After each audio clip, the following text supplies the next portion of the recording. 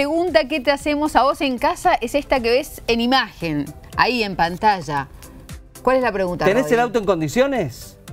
Bueno, contanos. Es un preguntón este, ¿eh? Porque aparte también muchos nos dicen, la verdad que no puedo ir a hacer la RTO, no por lo que sale, que sale más de dos mil pesos y, no es, digamos, quizás que no es tan caro o, quizás que se puede pagar, sino porque tengo que cambiarle ruedas, esto, esto, esto. Entonces por ahí no la a hacer porque la verdad que te tenés que gastar muchísimo para poder poner el auto en condiciones. Y te vamos a contar qué te piden en la RTO.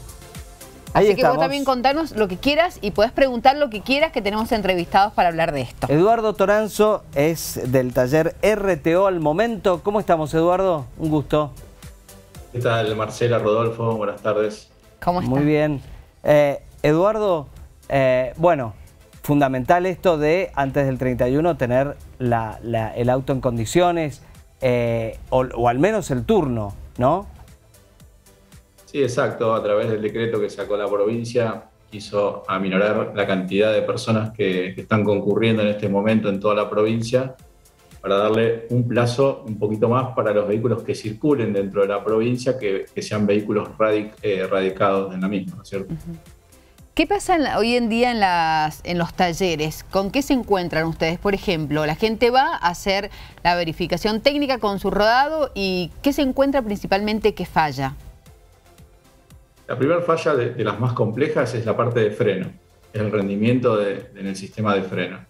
Después tenés fallas comunes y sencillas y reparables muy fácil y económicamente, que pueden ser la parte de luces. en algunos casos las personas no están acostumbradas a que le requieran el kit de seguridad, que es matafuego, botiquín, el chaleco refractivo, que son cosas que también se solucionan eh, muy rápido. En caso de que alguien no lo haya comprado, por ejemplo, el kit de seguridad, el chaleco refractario y todo eso, ¿Lo pueden comprar ahí o ya lo tienen que traer de afuera? No, en el caso de que no lo tengan, lo tienen que comprar en algún lugar externo a cualquiera de las empresas. Nosotros no estamos habilitados para ninguna actividad comercial paralela a la ah, revisión técnica obligatoria. ¿Nos podrías enumerar qué se necesita cuando va un vehículo? ¿Qué es lo que revisa uno por uno? Bien, en principio lo más importante es la documentación, que es la documentación que cualquier persona tiene que tener en el vehículo para poder circular. La licencia. tarjeta verde, tarjeta verde, tarjeta azul o una autorización de manejo en principio. Luego el carnet de conducir, el DNI, la póliza de seguro vigente y si un vehículo tiene GNC tiene que tener la certificación que ese vehículo está dentro de, con vigencia. Después pasamos a la parte del kit de seguridad, que es matafuego, botiquín, chaleco reflectivo y balizas. Luego que se controla documentación y el kit, pasa a un control visual, que es un control al entorno del vehículo, donde se revisa el parabrisa, bueno, las condiciones generales externas del vehículo. Por ejemplo, los espejitos tienen que, eh, pueden estar trizados no, no, todo lo que es eh, material de seguridad pasiva y activa tienen que estar en perfecta En perfecta, no, digo porque dice que algunos circulan con los espejitos con una trizadura. Que ha tenido un golpe y tiene una trizadura. Pero no, claro, es, no, no pueden decir, así no. No, correcto, porque si uno quiere rever hacia los laterales, hacia atrás, un vehículo en sobrepaso, si estuviese roto o dañado, no, lo puede hacer. Pierde el ángulo de visión. ¿Y cómo, cómo, cómo sigue esto? ¿Cómo sigue esa revisión? Neumáticos, por ejemplo. sí, correcto. Luego ingresa a un sector donde se controla la convergencia del neumático, la suspensión, el freno. Después se revisa toda la parte de luces, tanto eh, delanteras como traseras. Se pasa a un sector donde se controla que el cinturón de seguridad funcione, que las puertas abren y cierran todas, que los vidrios también cierren, se puedan abrir en forma perfecta. Bocina limpia parabrisas y después, bueno, sigue con un montón de controles internos dentro del vehículo. Después pasamos a un sector donde se controla todo lo que es el tren delantero, el tren trasero, que no tenga pérdida de fluidos, la parte del caño de escape, la emisión sonora del mismo. Y bueno, básicamente es parte de los puntos de control dentro de muchísimos controles que se hacen en, la línea. Eh, yo creo, no, creo equivocarme, pero creo que una de las cosas más caras es, si los neumáticos no están en condiciones, es cambiar las cuatro ruedas, ¿no? Eh, ¿Han encontrado muchas ruedas que están muy lisas, por ejemplo, con el dibujo borrado? La verdad que el porcentaje no es mayor de cubiertas lisas. El problema del costo de cambiarla es que ese vehículo no es seguro para poder circular. Ante la necesidad de freno o en cualquier impericia climática, necesita y requiere de que ese vehículo tenga una superficie de frenado. Eh, si, ah, eh, si, yo llego al taller, me miden eh, cómo está el dibujo de las ruedas, no sé cómo se llama eso. Sí, es la profundidad del dibujo. Tiene un nombre específico. Claro, exacto, no, es la profundidad del ah, neumático. Bueno. Tiene una, una, medición de un testigo. Bien. El vehículo, si, si, está por debajo, tiene que ser rechazado y tiene que ser reparada esa. ok, o sea, me tengo que ir a un taller, me tengo que ir a un taller, cambiarle las cuatro ruedas y volver para que ustedes me, me den el ok final, ¿o no? Exacto. Sí, porque te vuelvo a repetir, si ese vehículo, si estuviese en el mínimo, le aconsejamos y asesoramos a la persona que está entrando en un mínimo y va a entrar en un riesgo. Pero siempre cuando esté llegando al mínimo. Claro. Y si está obviamente pasado el mínimo, se lo asesora también para que lo repare. Hay una pregunta que es frecuente. Muchos sacaron el turno a través de la página de gobierno, pero no les llega la confirmación del turno. Eh, ¿Por qué puede pasar esto? Porque seguramente si la policía te para después del 1 de enero hay que mostrarlo, por eso pregunto.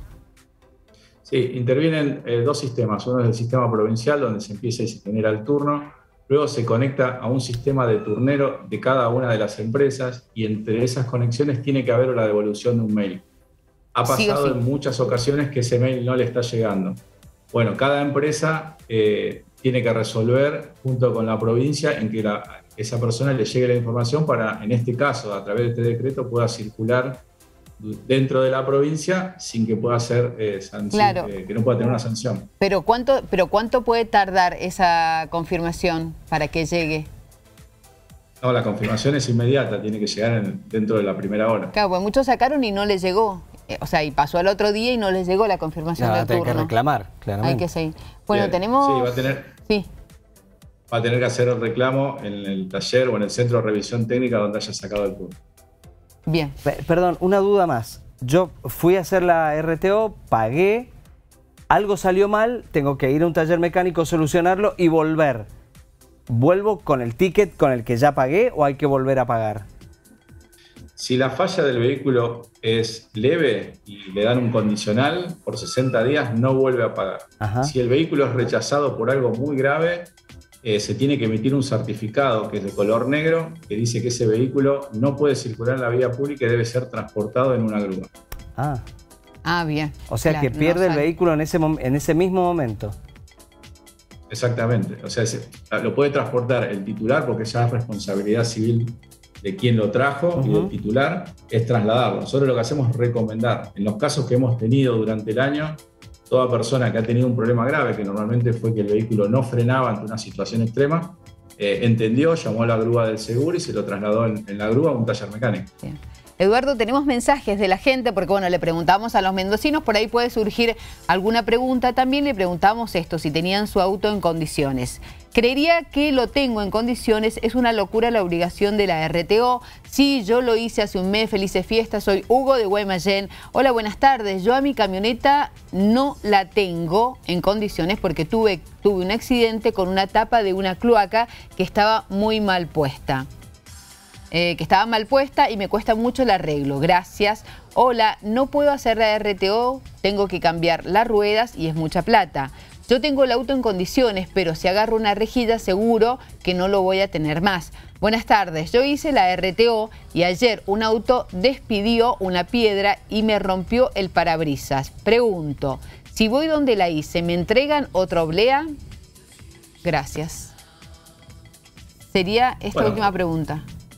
Bien, con respecto a la OLEA, la OLEA simplemente sirve para un control visual de alguna autoridad jurisdiccional, pero no es la que tiene validez para poder circular. Que significa que el certificado que se le entrega es el único comprobante que le permite circular y poder acreditar que ese vehículo cumplió con la normativa ah, legal. Entonces, el tema de, la OLEA no se tiene que hacer ningún tipo de inconveniente. Eh, por lo que ustedes ven allí, esto para, para cerrar, porque ya tenemos que ir cerrando la entrevista, eh, ¿Ustedes ven que la gente tiene responsabilidad para, su, para con su vehículo? Sí, por supuesto. Esto es una cuestión eh, de tiempo. Eh, la implementación de Mendoza es una de las últimas provincias en el país. Eh, la experiencia que nosotros tenemos al tener el mismo tipo de empresa en, en otras provincias donde ya llevan más de 10 años, 11 años de, estar el sistema funcionando, es año a año. Año a año va tomando conciencia y pasa a ser un trámite más en el cual saben que para circular tienen que tener póliza seguro, tienen que tener un carnet eh, vigente, tienen que tener una autorización o algún documento que le permita circular en el vehículo y la RTO es un documento más. Bien. Eduardo, muchísimas gracias por este contacto. Muchísimas gracias. No, por favor, quedo a disposición y le agradezco por dedicarle tiempo a la seguridad vial. No, gracias, a usted. Muchas gracias. Bueno, justamente de eso se trata de tener el auto en condiciones. Es mi seguridad y la de toda la gente que, está en ese parque automotor, ¿no? Que está manejando por la calle. Entonces dicen, che, pero es muy caro cambiar a las cuatro ruedas. Pero cuando compras el auto, tu obligación es que el auto esté en condiciones. Esté en condiciones, Por la seguridad de todos. por tu familia que va a subir a tu auto. tan difícil por el tema económico que a veces eh, cuesta, digamos, poder arreglar.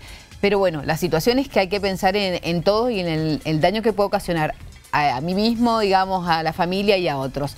Ahora, Pero sigan ahí porque vamos a seguir con este tema y pueden seguir mandando mensajes y consultas y demás porque bueno, ahora lo presentas a él. El tema es cuánto cuesta poner el auto en condiciones, ¿no? Y ahí sí que... Por eso Ese es otro dolor de cabeza. Claro, por eso hemos invitado a Carlos Barbagallo, que, bueno, Taller Barbagallo. Así es. Gracias chicos, ¿cómo andan? El apellido bien, ¿cómo está? Así es, todo bien, gracias por la invitación. ¿Cómo andamos? bien, bien, por suerte bien. Eh, ¿Mucha gente? Mucha gente, la verdad que muchas consultas, muchos presupuestos y también algo que nos, llamó la atención, muchas revisiones previas antes de ir a la RTO. Por ejemplo, ¿qué principalmente se ha cambiado que no estaba en condiciones? Y como dijo recién el colega, lo que más se cambia generalmente son frenos, ¿sí? luces y amortiguación. ¿Eso les ha sorprendido algo que vos digas, que no, no pueden circular de esta manera? Sí, sí, la verdad que no hemos encontrado, sí, sobre todo muchos frenos, sí, ya al límite, que e, esto si bien lo perjudica al ciudadano en el tema económico hoy en día, como está la situación, también nos ayuda a mejorar la seguridad y es necesario. ¿Vos, sentís que se ha mejorado mucho el parque automotor a través de la RTO? Mucho, mucho. Yo creo que el cambio se va a ver dentro de un año también, se va a ver el cambio de nuevos, nuevos vehículos y adaptado con la seguridad que corresponde. Pero vos sabés que nos contaban de un taller que estuvimos haciendo una nota hace unos días atrás, que la gente que está yendo ahora a hacer la RTO es la gente que se va de vacaciones, que necesita el auto, pero sobre todo que son los autos más nuevos. Entonces, en general no tienen tantos problemas falta todo el parque automotor más viejo. Y ahí es donde hay que poner el auto en condiciones, donde más te tenés que gastar. Porque, por ejemplo, ¿qué pasa si tenés que hacerle, no sé, eh, ruedas? A ver, contanos algunos presupuestos. Y lo más caro hoy día de reemplazar en un vehículo son las cubiertas, ¿sí? Hoy día reemplazar cuatro cubiertas de un vehículo estándar, ¿sí? Estamos hablando de un auto, no una pickup, un auto generalmente está en 60 mil pesos. las cuatro. Las cuatro vamos a tener que nombrar marcas, porque si no hay autos y autos. una cosa es un Fiat Uno. Tal cual. Que yo lo he tenido y era lo más barato que había en el mercado. Hasta la manija para bajar el vidrio salía dos pesos con 50. Y otra cosa es tener un Mercedes, por ejemplo. Tal cual. Que es un auto de alta gama. Claro, igual. Igual ahora nada sale dos pesos con 50. Ahora, igual las cubiertas tienen sus propias marcas, sí, y abarcan todo tipo de marcas de vehículos. Entonces, va más que nada en la marca de la cubierta. Ahí, hoy día un 147 un Mercedes puede usar cualquier marca de cubiertas y eso es la influencia del precio, de acuerdo a la calidad. Pero más o menos el promedio es en un auto medio. En, un auto medio no de alta gama por cubierta. 15.000. Sí, sí. ¿Qué otra cosa, por ejemplo, si tengo que arreglar? Frenos, por frenos. Por ejemplo, si hay que hacer frenos completos, delanteros y traseros, tenemos un promedio de 10, 10 mil pesos de mano de obra, más otros más o menos 10 mil pesos de repuestos. Yo soy un, ignorante absoluto en tema autos. Eh, ¿Todos los frenos frenan con pastillas? Tenemos los autos más modernos, adelante y atrás, son pastillas, ¿sí? Disco y pastillas. Sí. Y los autos más antiguos tenemos discos en la parte delantera con pastillas y en la parte trasera campanas con cintas de freno. Ajá. ¿sí? Y, digo, si yo me ocupo de ir cambiando las pastillas cada tanto, el disco se va a mantener siempre en condiciones. Tal cual, tal cual. Lo que recomendamos nosotros es cada 60.000 kilómetros en autos de transmisión manual, ¿sí? cambiar pastillas de freno para mantener el disco en condiciones lo más caro es el disco. Claro, lo más caro es el disco. Y los autos de transmisión automática eh, eh, sufren un desgaste mayor. A los 25.000 kilómetros recomendamos cambiar las pastillas de freno. Ah, bien. Y el parabrisas, por ejemplo, si se triza, porque parece que tampoco pasaría la RTO. O sea, no, dijo los espejitos, no le preguntamos si el, el parabrisas, sí, el parabrisas, es obligatorio tenerlo en condiciones. O sea, no puede ir trizado No puede ir trizado ni con piquetes. Todos los vidrios. Todos los vidrios sí. No solamente el, Tal cual. vidrio de adelante, ¿no? Tal cual. ¿Y qué precio tiene, por ejemplo, cambiar? También, ahí oscilan mucho los precios. ahí sí depende del vehículo, pero tenemos de 15.000 hasta 60.000 pesos un parabrisas. Dependiendo de la marca. Sí, de la del marca auto, del ¿no? vehículo. Y lo más... Eh, eh, Los comentarios de la no, cucaracha. claro, acá dice, claro, es muy caro. Y después del motor, lo más caro siempre, eh, bueno, correa, todo eso es muy caro. Sí, sí, lo más caro es la correa de distribución con bomba de agua, ¿no es cierto? Sí. pero eso ya es un mantenimiento más, no tan seguido, sino cada 70.000 o 150.000 kilómetros dependiendo Pero del vehículo. Hay algunos que dicen lo dejó pasar y ahora tenés que ir a la revisión técnica. Claro. Sí, sí, sí. sí, sí, igualmente yo creo que la revisión técnica es más de sobrefrenos, tren delanteros, ¿sí? no, no se puede detectar si hay una falla en la distribución. Eh, también cuando uno tiene un mecánico de confianza, viste que te va diciendo. Sí, Vos se lo cual. llevas por una cosita chiquita y te dice, che, mira, dentro de dos meses tráemelo de vuelta que le cambiamos la correa porque ya Tal cual. necesita ser cambiada. Digo, si estás bien asesorado, Sí. llegás a la RTO bien. prolijo, Sí, sí, tal cual. ¿no? Si uno sigue lo- el manual de procedimiento de reparaciones de fábrica, uno se puede ir asesorándose y pre- preveyendo toda esa, estos arreglos que van saltando ahora. Eh, por ejemplo, nosotros recomendamos servicio preventivo cada 10.000 kilómetros, que cambiamos todo lo que es filtros y aceites, y ahí le hacemos una revisión y decimos, mira, cada 2.000, eh, dentro de 2.000 kilómetros, vení que cambiamos esto, a los próximos 10.000 cambiamos lo otro, entonces es justamente es algo preventivo y no después correctivo como está pasando ahora, que se junta todo. Vos sabés que cuando dije que las ruedas eran lo más caro, te veía que asentías Sí. detrás de cámara con la Tal cual. cabeza. Y en el momento pensé también si no serán más caros los amor- amortiguadores que, el- que las ruedas, pero no sé si están ahí en precio. Y o no. están, están ahí, eso también depende mucho del vehículo, pero están ahí. Están ahí. Pero, por ejemplo, esta mañana nos contaba un señor que fue a cambiar Sí. la batería y le salió 35 mil pesos. ¿Puede ser? Puede ser, pero debe ser una, debe 35.000 ser una, una pick-up. Ah, una Debe ser- camioneta, Debe claro. ser una pick-up. Hoy día O la batería de un un- vehículo oscila también, depende de la marca, de 18 a Ah. 27 mil pesos. Igual es mucho, la verdad Sí, que si tenés mucho. que poner el, auto en condiciones, la revisión técnica es necesaria, está en el país, pero las, bueno, la condi- las condiciones económicas hoy están Sí, sí. complejas. La, Sí. la- la batería es lo que peor te pasa. Sí, la Porque vas a salir a trabajar Sí, con el sí. tiempo justo Y y, te le vas a meter. O te deja el auto donde sea. Claro, claro. Te y querés ahí morir. como que. no, y llamás a la grúa, estás tres ¿a horas esperando. ¿A Entonces te querés morir. ahora? ¿viste? Claro. Viene la desesperación. Tal cual Sí. es así. Generalmente sucede eso. Sí, así. Por, que por otras eso, cosas no, digo, si ves las ruedas que ya se están poniendo más Claro. lisas, ya sabés que tenés que sacar Sí. un turno, ver cuánto, cuánto juntar y qué sé yo. Tal cual. Pero la batería te deja parado. Sí, sí, sí. Por eso, pero por eso nosotros recomendamos el preventivo cada 10.000 kilómetros para justamente ir alertando todas estas falencias que van a suceder con el tiempo. Eh, ¿Nos está faltando algo dentro de todo este No, esquema ¿Una de recomendación a RTO? la gente, algo? No, la ¿Algo que podamos decirle? La recomendación a la gente es que eh, tenga paciencia porque eh, están las RTO colapsadas, ¿sí? Y que no se asusten, que, que confíen en su mecánico, que no, le, no es que le van a sacar la plata, sino es una, es una mejora para la seguridad de todos. La verdad que no sé si fue el momento económico, pero sí hacía falta esto, esta ley. Para, para, Para dejar el parque Sí. automotor en condiciones, sí, ¿no? sí. Claramente. Sí, pues si no todos corremos riesgos. Exacto, sí, Sí. sí, porque viste, viste que uno dice, no, pero viste que yo manejo tranquilo y soy precavido, pero no sabes el otro. Tal cual, tal cual. Era No necesario. sabes el otro. Era necesario. No sé si era el momento justo, pero sí económico, pero sí era el momento justo en la parte de seguridad. Perdón, yo estoy pensando en casos emblemáticos de accidentes viales con, con- con- con víctimas fatales, donde generalmente los protagonistas terminan siendo autos que no están en condiciones. Estoy Claro. pensando en los hermanitos Krug, por ejemplo. Ah, bueno, claro, ¿No? también. Con- de los tres autos, dos deberían haber estado fuera del parque automotor. Sí, sí, sí, pasa eso, pero también pasa el factor humano, ¿no? Que Sí, somos sí. muy imprudentes Sí. y también manejamos a una velocidad que no corresponde, con alcohol. Alcohol, claramente. eh, y no respetando, digamos, la- las señales y las distancias que corresponden. Cartel de pare no existe. No, no existe, no, no, no. No existe. No, no. Últimamente no Sí. existe ni el semáforo rojo, porque la verdad que la Sí. gente está más loca que nunca. Pero, eh, digo, el, el cartel de pare Sí. es Pero- un adorno hermoso en la ciudad. Es un buen puntapié el tema de la seguridad vial, ¿sí? de la mantención del vehículo. Ahora faltaría que sea más estricto el control de justamente el cumplir las normas que estamos incumpliendo todos. Entonces, bueno, acá mira, ya tenés que hasta abril, al, hasta el, porque digo, hay tiempo para sacar el turno hasta abril. Ya Sí. sabes que es como la fi- por lo menos la fecha límite. Límite. No creo que haya otra. Bueno, muchísimas Bueno, gracias. no, chicos, gracias a ustedes por la invitación. venir. No, gracias. Muy Muchas amables. gracias. Gracias.